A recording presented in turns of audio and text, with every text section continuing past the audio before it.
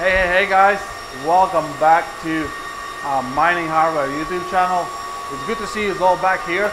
And uh, as you can see in the video title, we are doing some testing on Antminer S9 uh, on the HiveOS, where HiveOS has released a new firmware for Antminer S9. Let's see what it does, and let's go to the more quiet environment.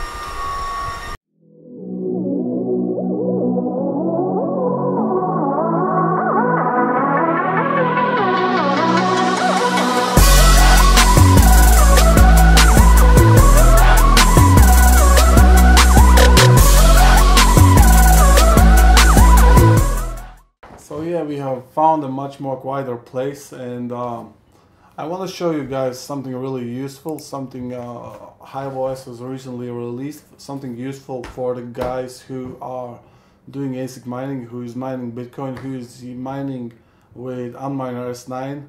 Um, so they have released recently a firmware um, for the um, Antminer S9 and I can tell you it's quite good and I just want to show you how to use it and how to connect it. Um, I think I have a video before um, how to connect the Antminer S9 to the HiveOS. It's, it's quite easy. I will show it again for whoever didn't see it. It's quite easy. So basically what you need to do, you need to log into your miner um, through SSH. So PuTTY is a good tool or or maybe if you have some kind of similar tool uh, to log in into your miner. So basically looks like that. You put in your IP address um, into here and just log in and the username will be root and uh, password will be admin on the default settings. I cannot just log into the miners now because I'm in a different location. Um, so um, so um, next thing what you want to do is uh, um,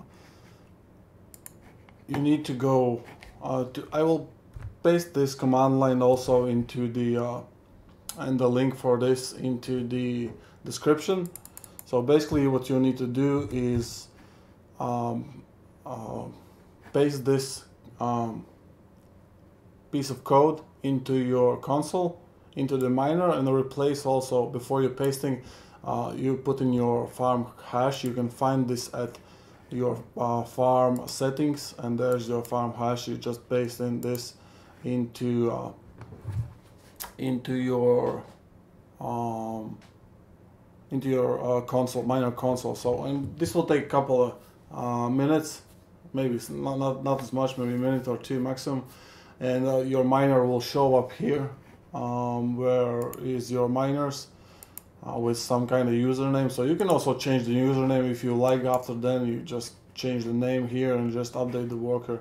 In that way uh, you know you can uh, I use the username what you like. Um, so next thing what you want to do is you want to create a wallet. Um, I would suggest you to use uh, Slushpool because the Slushpool supports ASIC boost and this firmware has ASIC boost so you will save a lot of power when you're using an ASIC boost. So you create a wallet and uh, you know that you won't put your bitcoin address in the wallet. You'll put if you're using Slushpool you will put your uh, username uh, into the uh, wallet address. And next you want to create a flight sheet um, you choose uh, so you choose what coin you want to mine, Bitcoin. So of course you choose wallet, then you choose what pool you want to use, and then just ASIC miner, and that way you create a flight sheet. Um, it's quite easy. And then if you want to apply the, flight sheet, just go to miner, open your miner, flight sheets, and click the rocket button, and it will automatically start using uh, this flight sheet. Because um, because you you can you, you know it's uh, it's different way uh, to connect your miner to mining pool as you know previous, previously shown and it's default on the Bitmain when you need to log into the miner. This way you can remotely do it from a HiveOS account uh, and it will automatically change the settings in the miner and it will automatically mine to your uh, details provided.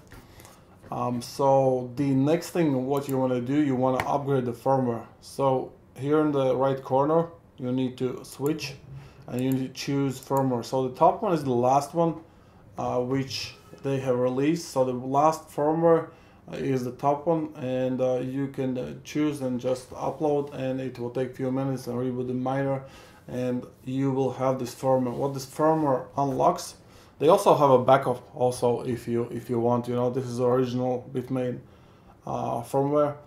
And also I remember like I was doing uh, previously from for a review for Dualimizer Dualimizer uh, firmware and there was a lot of people complaining in the comments they cannot recover their miner so what you what the, the easiest thing you know even if you didn't do a backup to backup your antminer s9 is to hold the ip report button tool on the miner uh, before you turn off. So you turn off you're still holding the button then you're turning back on hold the button for another 10 seconds and it, this will automatically um, recover your original factory firmware. Yeah and also you know you just clean your uh, cache um, into the browser. So uh, control 5 uh, if you still see um, your previous firmware uh, like um, um, data what do you call them so yeah this is what you do and this thing what when you upgrade the firmware to HiveOS this will unlock your overclocking settings and they have this auto tuner configuration which is you know where you can just choose a setting what you want. So for example I have here 1800 watts and 17.7 terahash if ASIC boost support or not.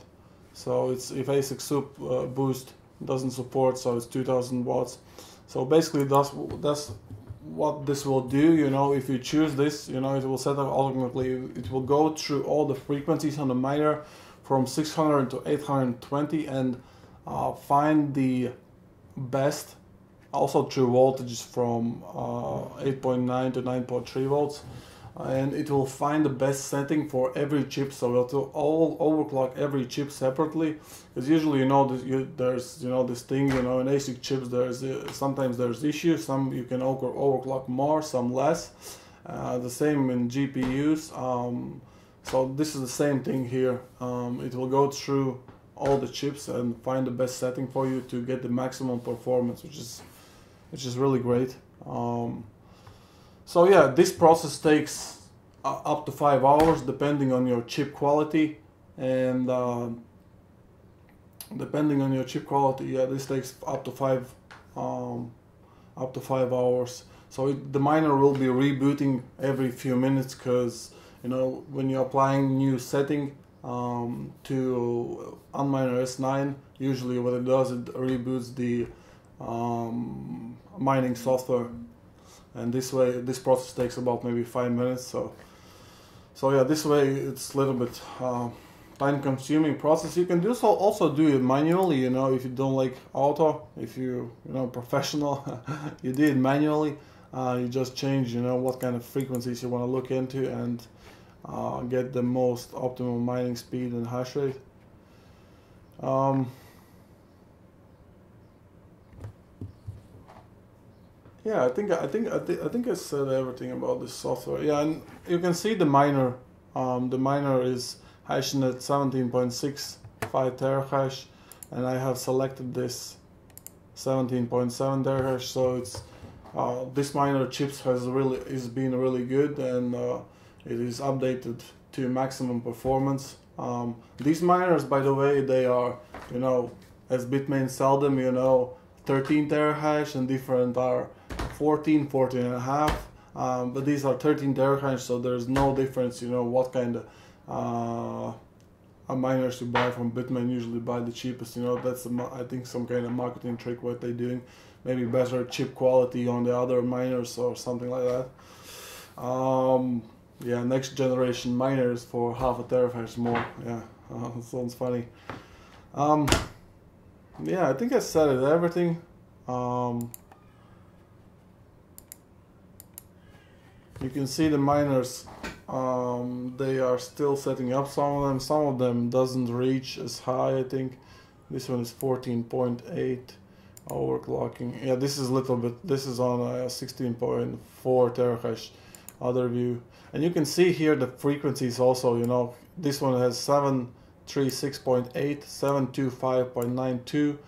7 uh, 713.31 and different uh, power usage from the each of the board. Um, so yeah and as usually HiveOS is providing us with the best mining tools uh, for uh, mining uh, very easy to set up very easy to monitor auto reboots auto overclocking um, what could be better you know? If you especially if you do have a, a large mining farm it's quite easy to set up. Um, so yeah I hope you did enjoy this video. Um, thanks for tuning in.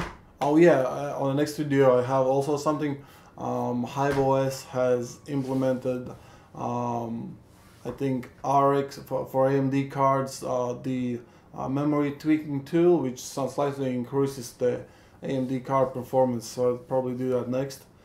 Um, yeah, otherwise I hope you did enjoy the video. Hit the like button if you did. Um, subscribe the channel. If you haven't subscribed yet, hit the bell button to not miss the next video. And I'll see you on the next video, guys. Bye, bye, bye. And Bitcoin going to the moon. Yes, yes, yes, yes, yes, moon, moon, moon.